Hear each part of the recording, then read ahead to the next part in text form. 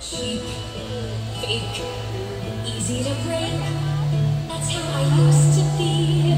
Here, take it.